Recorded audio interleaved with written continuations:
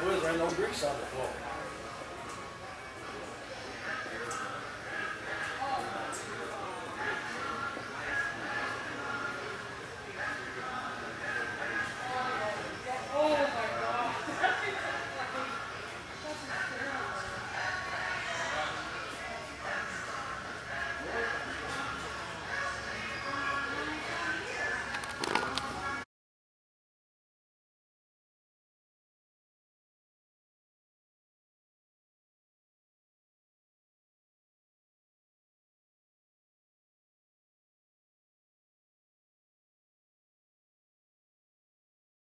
I would like to wish Mr. Carl Sharp a happy 29th birthday and holy.